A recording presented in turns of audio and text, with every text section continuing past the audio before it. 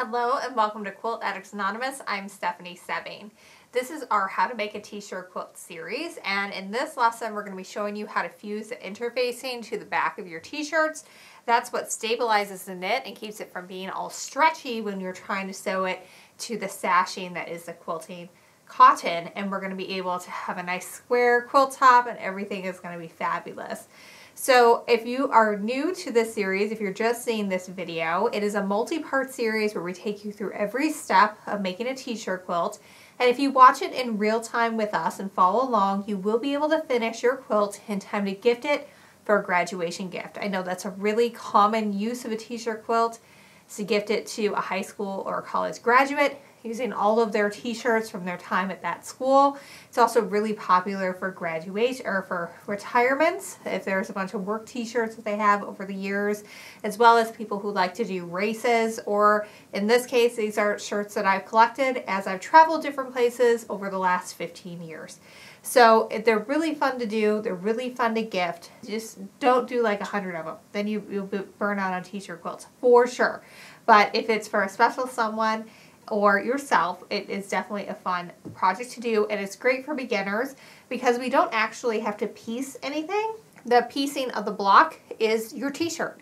And so you just get to add some sashing and sew it together. So it's a really good beginner project. So make sure you watch all the lessons up until now uh, in order to learn all the steps and the supplies that you need. And we also have a pattern available for you on our website, shop.quiltaddictsanonymous.com. If you buy the applique pressing sheet, which you need in today's lesson, and the interfacing, which you also need in today's lesson from us, we'll give you that pattern for free. So you can just add those to your cart and save with us. It's a great way to say thanks for all the free video tutorials. All right, so today we're going to be fusing the t-shirts to the interfacing. We're not going to start with Don't Mess with Texas. This is the one where the design goes almost all the way out to the edges. So I saved this as our problem child t-shirt so that way you know like what to do if you have one that takes up almost the entire block design. We're going to start with the easy one. And this one has our design, our screen printing in the center. And then we have a lot of just empty space, which is going to be good because when we put it next to designs like this one, it gives the eye a place to rest instead of having them all be super busy. But it's a lot easier to fuse, so that's where we're going to start today. So I'm going to start by grabbing one square fusible interfacing. And I want the shiny side to be up. That's the side that has a fusible on it. If it looks rather dull and you can't feel any fusible on it, that is not the fusible side because we want the sticky side to stick to our t-shirt. Now next I'm going to lay my quilt block or my t-shirt block on over top of it. I'm not really concerned at this point with getting it exactly lined up because not going to happen. Your t-shirt is either going to be too small or it's going to be too big at this point. It very rarely is right on. You can see mine is not wanting to lay nice and straight. It's kind of curling in. So we're going to take this one corner at a time, one side at a time to get the outside fused down, and then we're going to go into the inside. Let me show you how to do that. So I'm just going to start in this bottom corner. What I'm doing is I'm just lining it up so that my t-shirt is right on top where that fusible interfacing is. And we want to make sure that the t-shirt is in between because one, we don't want to have wrinkles on our t-shirt for one, and two, it's a lot easier to get fusible off your ironing surface than it is off of your iron. So we always want to have fabric in between your fusible and your iron. So we can see that this is actually, it looks rather flat right now. That's because it's completely fused to the surface. This corner is good to go. So now I'm just going to work my way around, going around the corners. Not going to worry so much about what's going on inside just yet, but I want to get these corners tacked down first. So if I can, if I've got enough room to do it, I like to do maybe the first inch and a half to two inches of corner and get that fused down. And you really just have to hold it for a few seconds if you're not using the same interfacing that we have, make sure you're reading your manufacturer's instructions. You may have to hold it a little bit longer. But this stuff is pretty good. It fuses down fairly quickly as long as you have a, a hot iron on the cotton setting. That one was just a tad off, no big deal. It all kind of evens out. It's a very forgiving project. Now what you don't want to do at this step is like plop your iron like way down here, like say you're doing your corner and you get this whole section because we haven't lined up any of this yet. So if you put your iron down, you're gonna stick your fabric to it. And in this case, it's kind of rolled under. It's not all the way to the edge. That's when you're gonna start running into problems. But if you just take a little bit of each corner, you're gonna be just fine. All right, so now what I like to do is kind of lift it up and lay it down. And that kind of gets everything nice and evenly spaced out because sometimes you are going to be having a little bit more material in the center than there actually is just because t-shirts behave differently as a fabric than quilting cotton. It's not going to stay at that nice 12 and a half inch because you cut it at 12 and a half inch. It has a mind of its own. It's going to do its own thing. But once I have that kind of patted down and even with the edge. Now I'm going to take my iron and I'm just going to do like the outside inch or two here and get that set. Now I'm going to repeat that process going around the other three edges until I have the entire frame of the shirt fused down.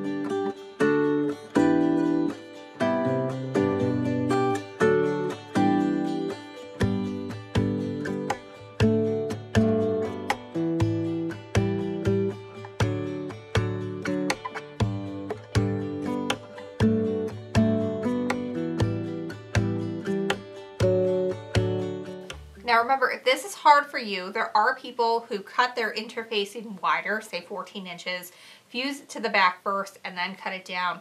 That drives me a little batty because I want to make sure that I've got interfacing. Well, first of all, it's critical that you have interfacing going all the way to the outside, and I'm worried that I won't get it placed where I want it to be for cutting in the final bit. So that worries me. This is why I do it this way, but there is another way to do it. If you find this really hard, you can definitely search for some other videos on how that process works and you can try it that way because there are usually more than one correct way to do things. In quilting, it's just a matter of which one works best for you and what you're trying to achieve. Now, if you do screw up and you end up with like a bump or something, if you pull that up right away, you separate the t-shirt from the interfacing, you are able to make adjustments to that. It's not like it's stuck there forever, but I would do it fairly quickly. I wouldn't wait a while. I would do it pretty, pretty quickly there. All right, so we've got our edges down. It's not absolutely perfect. I've got a little bit of just a sliver of interfacing hanging off the side here and here. That's gonna be fine. When I go to sew it to my sashing, it will, I'll just use that interfacing as my guide for my 12 and a half inch instead of wherever the t-shirt is. And that's how I'll maintain my accurate piecing. All right, so you can see visibly that the outside is looking very flat and because it's been fused to that interfacing. The center, not so much. Looks like I just pulled it out of the dryer, which I did this morning. So now we have to fuse that and we need the applique pressing sheet for it. Now this section here where there's no screen printing, I can fuse that ahead of time. What you don't want to do is put your iron directly on screen printing ink because it will melt it and it will end up all of your iron instead of staying on your shirt where we want to have it. All right, that's looking pretty good. We have all the areas where there is not a sewing machine fused down. All right, so this is an applique pressing sheet. It is critical. You absolutely have to have one of these. Otherwise, the screen printing ink is going to end up all of your iron. It's not going to be good. You can actually see the design through there. That's very nice. What it does is this is made of Teflon, the same stuff that your nonstick pans are. So I can put the iron down on top of this and the heat will go through, but it will prevent the screen printing ink from coming on the iron. It's going to stay on your pressing sheet instead. Now, this does get really hot and it is not permeable. So if you have steam in your iron, empty that out right now or it's just gonna come shooting right back at you. It's not fun. So what you want to do is just set your iron down and leave it on one side for a few seconds. And then since it gets so hot, I'd like to just go back and forth. So I'm going to come over here next. And then I just kind of alternate coming in a little bit each time until I've hit everything.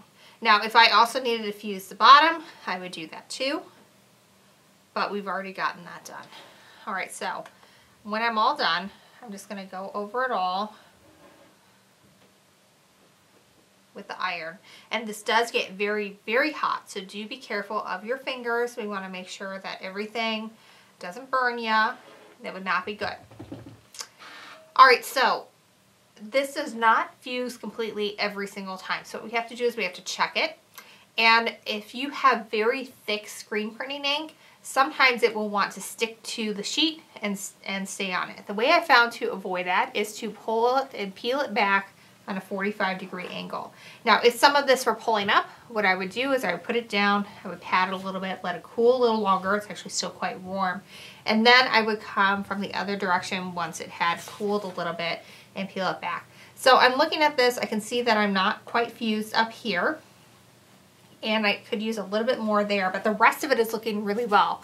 I mean, you can just see there's like a little bit of wrinkle there. That means we need a little bit extra time there with that iron. So I'm going to go ahead and put that back down. We're just going to spend a little bit more time with the iron there. The rest of the top. And we need a little bit more over here.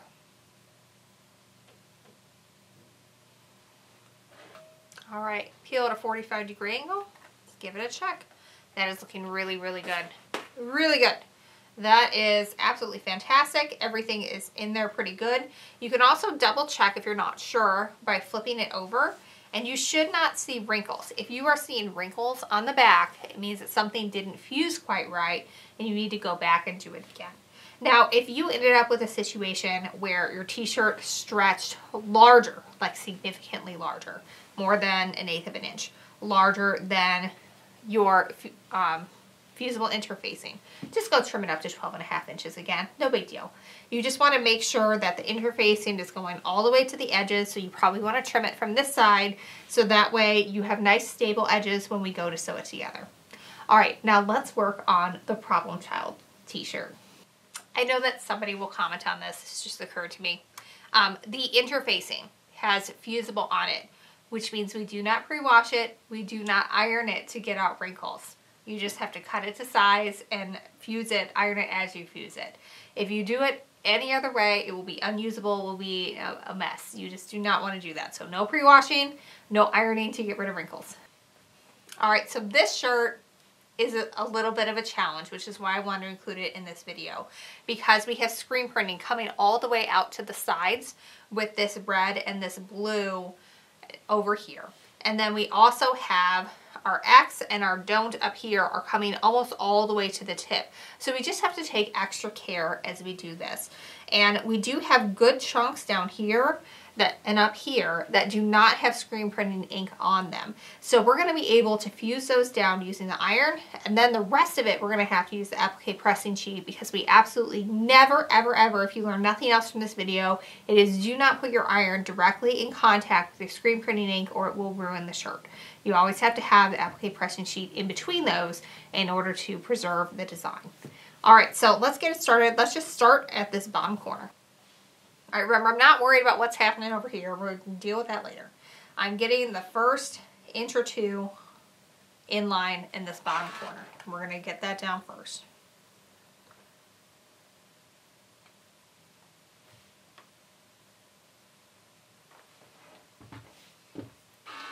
And we're going to do the same thing on the other side.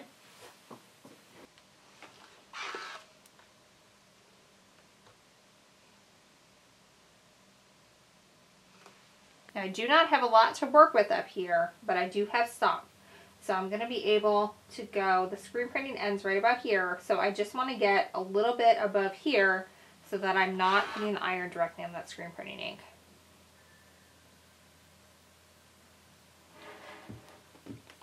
Got a much smaller corner that we fused down, but it's enough. Do the same thing on the other side.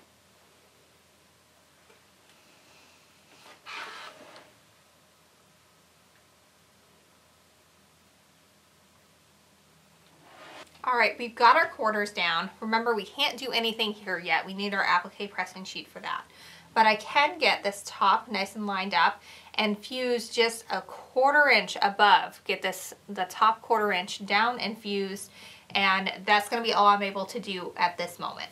So just be really careful that you are angling that iron so that it is just on the tip and side of that shirt and not on that screen printing ink. All right, that very top is fused. Now I'm going to be able to do the same thing on the bottom. Go ahead and flip that around. I always like it to be away from me as I'm working on it. And I can do the same thing here. I can actually get quite a bit fused underneath as we come into that X and the Texas symbol. But I first I'm going to go across the entire bottom here and get that bottom quarter inch fused. Again, be really careful not to hit any of the screen printing ink.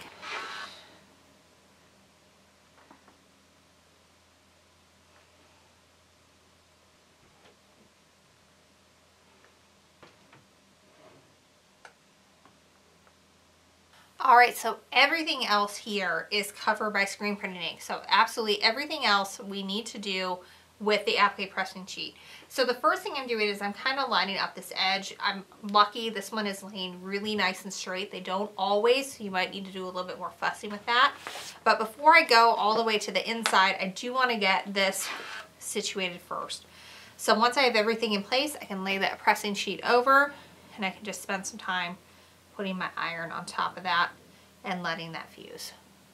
I still pull up from an angle, check to make sure it's looking good, and it is. That looks fantastic. All right, so let's do the same thing on the other side. As flat as we can, and as even with that interfacing edge. Lay your sheet over and fuse the side.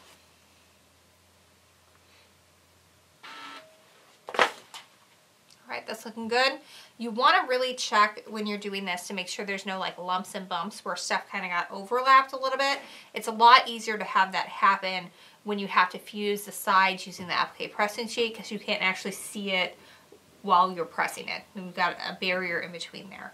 But from here, we've got those edges all together. We're pretty flat in the center. So now we're good to just do what we did before.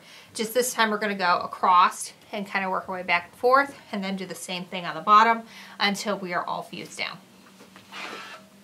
And I kind of just hold it, I count to kind of three to five. And then I lift and go to the other side.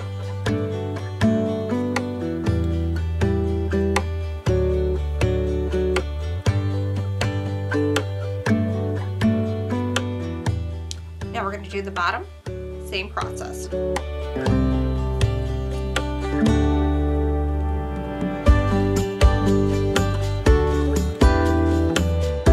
When I'm all done, I'd like to just go over the entire thing and just kind of slowly slide back and forth.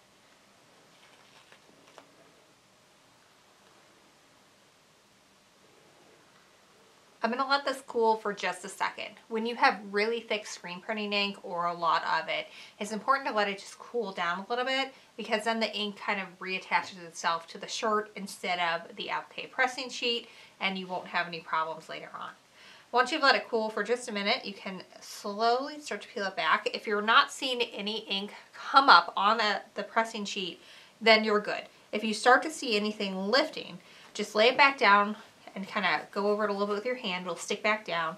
And then let it cool a little longer and then come again from the other side.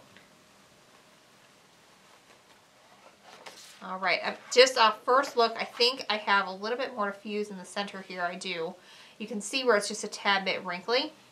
And if I flip it over, I can see that as well. We can see where it hasn't quite stuck in just a few areas. So I'm gonna go over that just one more time and then this will be good to go.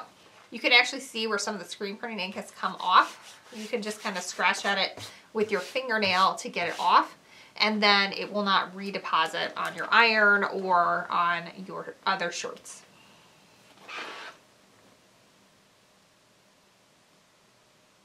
All right, we are looking pretty good here. I'm really happy with how this one has turned out.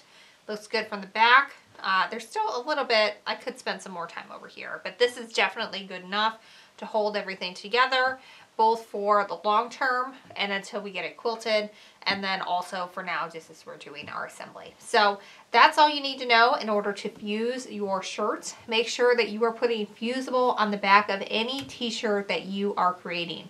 So when you have those pocket squares, fuse that before you piece them into four patches or the six by 12 and a half.